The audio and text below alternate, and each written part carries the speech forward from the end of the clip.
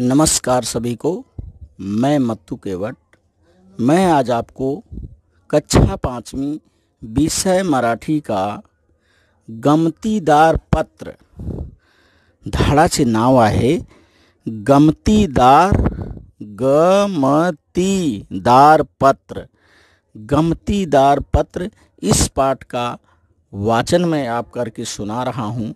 तो आप क्या करिए, इस वीडियो में इस पाठ का वाचन सुनिये आज मी आपल्याला गमतीदार पत्र ह्या धडाचे वाचन करून दाखवत आहे आणि आपण काय करा ह्या धडाचे वाचन ऐका.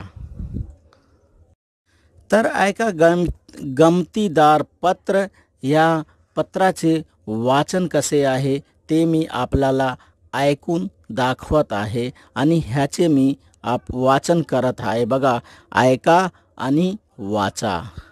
दारावरची बेल वाजली. मायाने दार उघडले. दारात पोस्टमॅन होता. त्याने मायाला एक पाकिट दिले. मायाने पाकिटावरील मजकूर वाचला. अय्या काकांचे पत्र. तिला आनंद झाला. धन्यवाद। पोस्टमैन काका मायाने पोस्टमॅनचे आभार मानले दार बंद केले मायाने पाकिट उघडले आतील पत्र बाहेर काढले पाहते तर काय आत कोरा कागद। तिला आश्चर्य वाटले काकांनी कोरा कागद कशा बरे पाठवला।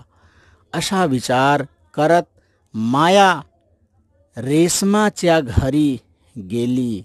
रेशमा हे बघ पत्र काकांनी पाठवले पत्र। मायाने पत्र रेशमाला दाखवले। अग, काकांनी कोरे पत्र पाठवले। का, काहीच लिहिले नाही त्यावर. हे बघा, हे पत्र आहे आणि हे पत्रावरती बघा आता अक्षर उमटले आहे आणि पहिल्या पत्र उघडले आणि पत्रावर काहीच नव्हते. पहले पत्र जब रेशमा ने खोला तो उस पत्र पर कुछ नहीं था. उसके आगे देखिए क्या हो रेशमाने पत्र हातात घेतले, तिला त्याचे नवल वाटले नाही. तिने एक मेणबत्ती घेतली. मेणबत्ती पेटवली पेटवली आणि रेशमा मेणबत्तीच्या ज्योतीवर पत्र धरू लागली. अग रेशमा हे पत्र जळून जाईल माया म्हणाली. अगे अगं ह्या पत्राची एक गंमत आहे. बघ तू. रेशमा म्हणाली तिने मेणबत्तीच्या ज्योतीवर ते पत्र धरले. ज्योतीची उष्णता त्या पत्राला मिळाली. त्यावर अक्षरे दिसू लागली. मायाने आनंदाने टाळ्या वाजवल्या. तिने पत्र वाचले. तिला खूप आनंद झाला. मायाने रेशमाला विचारले काय ग आता कशी काय पत्रावरची अक्षरे दिसू लागली? अग माया ऐक लिंबाच्या रसाचा उपयोग करून कागदावर लिहितात. लिहिलेले लिहिलेले सुकल्यावर कागद कोरा दिसतो. तो कागद उष्णतेवर धरल्यास त्यावरील अक्षरे पुन्हा दिसू लागतात आणि आपल्याला ती अक्षरे वाचता येतात. रेशमाने मायाला कोऱ्या पत्राची गुपित सांगितले. हे ऐकून माया आश्चर्य चकित झाली. तर आता मी काय करतो? ह्या धाडाचे आपल्याला हिंदीत पण अर्थ सांगतो की ह्याचे हिंदीत अर्थ काय आहे गमतीदार पत्र गमतीदार पत्र अर्थात मज़ेदार पत्र। इस मज़ेदार पत्र के बारे में देखिए, मैं इसका वाचन आपको करके और इसका हिंदी में अर्थ भी मैं आपको बता रहा हूँ कि इसका हिंदी में अर्थ क्या है और इसको मराठी में कैसे पढ़ते हैं। ऐका अनिवाचा, दारावरची बेल वाजली अर्थात दरवाजे पर की घंटी बजी। माया ने दार उघड़ ले, माया ने दरवाज़ा खोला। दारात पोस्टमैन होता। दरवाजे में कौन था? दरवाजे पर पोस्टमैन था। त्याने मायाला एक पाकिट दिले। त्याने अर्थात ये सर्वनाम है। पोस्टमैन ने माया को एक पाकिट दिया। माया ने पाकिटा पाकिटातील मजकूर वाचला। माया ने पाकिट में जो था, मजकूर मतलब जो सप्रेम नमस्कार लिखा रहता, उसको पढ़ा। अय्या काकांचे पत्र। उसमें उस, उनके काका का पत्र था। काका अर्थात उनके पिताजी के जो भाई थे, उनका पत्र था। तिला आनंद झाला, उसे बहुत खुशी हुई। धन्यवाद। पोस्टमैन काका, उसने पोस्टमैन को, वाद को धन्य कहा कि पोस्टमैन काका, आपको बहुत बहुत धन्यवाद, आपने पत्र दिया। माया ने पोस्टमैन से आभार मान ले, दार बंद के लिए। माया ने पोस्टमैन का क्या किया, आभार व्यक्त किया और अपने दरवाजे को क्या किया, बंद किया। माया ने पाकिट उघड़ ले माया ने पाकिट को खोला, आतिल पत्र बाहर काढ़ ले अंदर से जो पत्र था उसको बाहर निकाला। पाहते तरका देखती है तो क्या है? आत कोरा कागज़, पत्र के अंदर जो लिफाफे के अंदर एक कोरा कागज़ था। तिला आश्चर्य वाटले। माया को बहुत ही आश्चर्य लगा कि इसके अंदर तो ये कोरा कागज़ है। काका ने कोरा कागज़ कसा, बरे पाठवला। काका ने मेरे कोरा कागज़ किस तरह, किस लिए भेजा है? असा विचार करत माया रेशमाचा घरी गेली. ऐसा विचार करते हुए माया जो क्या की अपनी सहेली रेशमा के घर गई. रेशमा, हे भग, हे बग पत्र उसने रेशमा को कहा, रेशमा, ये देख पत्र, काका ने पाठिवले आहे, ये मेरे काका ने भेजा है. माया ने पत्र रेशमा ला दाखौले माया ने पत्र को क्या किया? रेशमा को दिखाया. अगे, अग काका ने कोरे पत्र पाठवले आहे. उसने कहा, अरे, काका ने कोरा कागज़ भेजा है. कोरा कागज़, कोरे कागज़ की चिट्ठी भेजा है. पत्र अर्थात चिट्ठी. काहिच लिखले नाही त्यावर. और मेरे काका ने इस पत्र पर कुछ भी नहीं लिखा है. देखिए इस तरह से वो माया जो है अपनी सहेली रेशमा को बता रही है कि मेरे काका ने क्या किया. पत्र तो भेजा है, लेकिन पत्र के लिफाफे के अंदर क्या है? कोरा कागज़ है। आगे देखिए क्या होता है।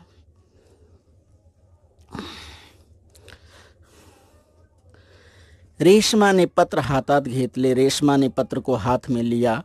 तिला, त्याचे नवल वाटले नाही। रेशमा को जो है उसका आश्चर्य नहीं लगा, क्योंकि रेशमा को उसके बारे में कुछ जानकारी थी। तिने एक मेणबत्ती घेतली रेशमा ने क्या किया? एक मोमबत्ती को लिया। मेणबत्ती पेटवली आणि रेशमा मेणबत्तीच्या ज्योतीवर पत्र धरू लागली. रेशमा ने क्या किया? मोमबत्ती को जलाया और मोमबत्ती को देखिए, इस तरह से रेशमा ने जलाया है और जला करके मोमबत्ती की रोशनी जो है, इस कागज़ पर रेशमा ने दिखाया। दिखाने के बाद उसमें से अक्षर दिखाई देने लगा। परत बगा एकदा तिने एक मेणबत्ती घेतली, उसने एक मोमबत्ती लिया, मेणबत्ती पेटवली आणि रेशमा मेणबत्तीच्या ज्योतीवर पत्र धरू लागली. और रेशमा ने क्या किया? मोमबत्ती के रोशनी पे पत्र को इस तरह से पकड़ा है। ये देखिए, इस तरह से पकड़ा है। इसके बाद देखिए क्या होता है। अग, रेशमा, हे पत्र जलून जाइल माया मनहाली माया ने कहा, अरे रेशमा ये पत्र जो है मोमबत्ती से क्या होगा? जल जाएगा। तो माया देखिए क्या बता रही है। अग, या पत्राची एक गम्मत आहे। रेशमा बोलती है कि, अरे माया, इसमें एक क्या है? गम्मत है। गम्मत अर्थात एक मज़ाक है। अग अग ह्या पत्राची एक गम्मत आहे. अरे, इस पत्र की एक क्या है? मज़ेदार कहानी है, गम्मत है, मज़ेदार कथा है।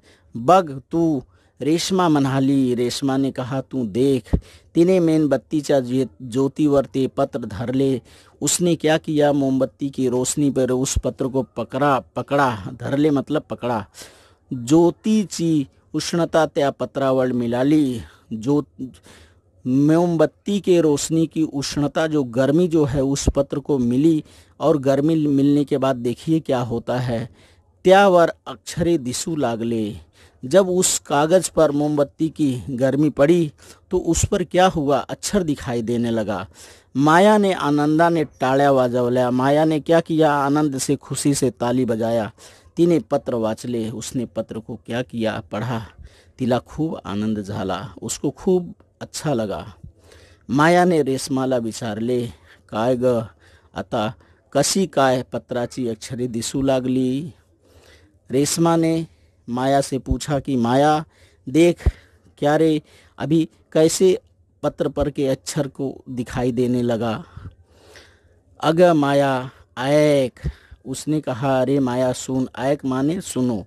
लिंबाचा रसाचा उपयोग करून कागदावर लिखतात उसने बताया कि नींबू के रस का उपयोग करके कागज़ पर लिखते हैं लिह ले ले लिख ले ले सुकल्यावर कागज़ कोरा दिस्तो माया ने बताया कि नींबू के रस को लेकर के जब पत्र को लिखते हैं, लिखने के बाद वो सूख जाता है। सूखने के बाद वो कत्र पत्र जो है, क्या है, कोरा दिखाई देता है। अर्थात उस पर कोई अक्षर दिखाई नहीं देता।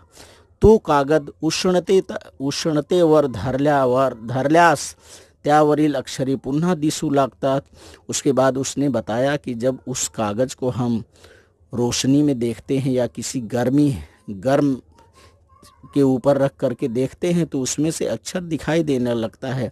आणि आपल्याला ती अक्षरे वाचता येतात और अपने को क्या होता है? वो अक्षर पढ़ने को आता है। रेशमा ने मायाला कोरा पत्राचे गमती सांगितले, हे ऐकून माया आश्चर्यचकित झाली. इस तरह से रेशमा ने क्या किया? उस कोरे कागज़ की गम्मत अच्छा अर्थात आश्चर्यचकित वाली बात को बताया, और माया क्या हो गई? आश्चर्यचकित हो गई। तो इस तरह से ये मज़ेदार जो है पत्र है, गमतीदार पत्र की ये घटना है, और बच्चों, इस पत्र के द्वारा आपको यह सूचना दी जा रही है कि इस तरह से बहुत से लोग क्या करते हैं, इसका अंधविश्वास के रूप में भी इसका उपयोग करते हैं। बहुत से लोग जो हैं, क्या करते हैं कि इस इस तरह से लिख करके लोगों को इसका बेवकूफ़ बनाते हैं और कहते हैं, देखिए तो बच्चों, इस तरह से ये गमतीदार पत्र के आधार पे आपको आश्चर्य नवल अर्थात आश्चर्यचकित वाला गुपित अर्थात गुप्त रहस्य का बात इसमें बताया गया है कि ये एक गुप्त रहस्य है कि जो कोरा कागज़ है, उस पर नींबू के रस से लिख करके लोग क्या करते हैं? कोरे कागज़ को देते हैं और उससे जिसको पता रहता है वही उस अक्षर को क्या करता है कि प्रकाश की रोशनी में रख करके पढ़ सकता है। तो इस तरह से ये गमतीदार पत्र की कहानी है। इसको आप क्या करिए, इसका वाचन करिए, इसको पढ़िए और और अंधविश्वास वाली ऐसी कोई घटना होती है तो आप उसको, उस पर विश्वास मत करिए। बहुत से लोग क्या करते हैं इस इस तरह से अंधविश्वास के रूप में भी इसका उपयोग करते हैं और वो कहते हैं कि हम बहुत बड़े ज्ञानी हैं, वो ज्ञानी नहीं है। इस तरह से नींबू के रस में लिख करके लोगों को पत्र देते हैं। पत्र देने के बाद उनको कहते हैं कि, रात भर आप क्या करिए? इसको अपने तकिए के सिरहाने के नीचे रखे रहिए और सवेरे देखिए तुम्हारी किस्मत इसमें दिखाई देगी। उसमें वो जो अपने हाथ की राइटिंग लिखे रहते हैं, हमारे सिर की गर्मी से या किसी तरह से वो क्या होता है? कि वो अक्षर दिखाई देने लगता है। वो सामने तो कोरा कागज़ रहता है, लेकिन जब हमारे सिर की गर्मी उस कागज़ पर या गरम गरम चीज़ उस पर पड़ती है तो उस पर लिखा हुआ अक्षर क्या है? वो दिखने लगता है। तो इस पाठ के द्वारा, गमती पाठ के द्वारा आपको अंधविश्वास से बचने के लिए भी सूचना यहाँ लेखक ने दिया है कि आप क्या करिए। इस तरह से अंधविश्वास की बातों से आप क्या करिए। परिचित होइए ताकि इस तरह से आपको कोई धोखा ना दे सके। धन्यवाद सभी को।